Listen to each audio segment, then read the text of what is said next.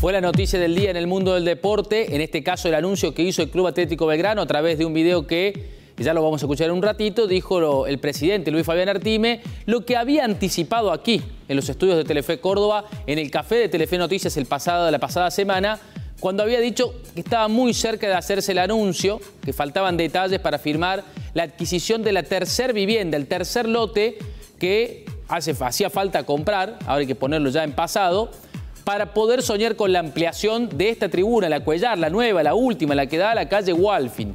Bueno, se habían comprado a principio de año dos lotes, pero faltaba un tercero. De hecho, dentro de los lotes que se habían comprado, se había podido hacer este ingreso extra a la popular, esa vereda de cemento que ustedes ven ahí. Es un acceso extra nuevo que se hizo porque ya ese lote pertenece al club. Pero fíjense, esas son las tres famosas casas.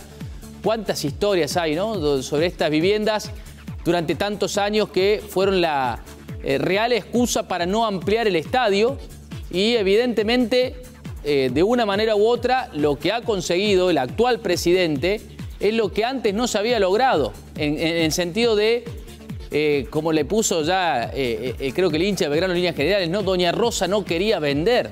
Bueno, logró lo que durante tanto tiempo parecía ser un mito, parecía ser imposible, que, que era inaccesible en la gestión de su primera presidencia, Artime consigue entonces, junto a su comisión directiva, adquirir estos tres lotes que le va a permitir ampliar. Fíjense, ¿ve? va a llegar justo hasta el final, hasta el córner, la tribuna ahora. Había quedado como fuera, digamos, eh, de escuadra, por decir de alguna manera, pero siempre los dirigentes sabían que era para, cuando terminaran de ampliarla, ocupe bien todo el lateral, hasta el poste, justamente aquí de la torre de iluminación que está ahí ubicada.